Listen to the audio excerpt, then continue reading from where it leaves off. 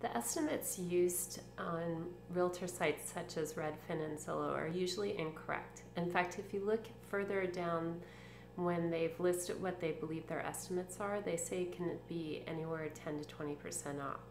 What they do is they take a mile circumference from the subject property, look at what's sold over the last six months, and divide the price by the square feet of the house and come up with the average square foot price. They times that towards your home and they come up with their estimate. It doesn't take into consideration the difference in schools, which road it's actually on, the condition of the home, and also when you take such a large amount of time over six months, a lot can change in different areas, as we know. It's best to talk to a realtor who be able to really go through and give you an idea of what your home is worth.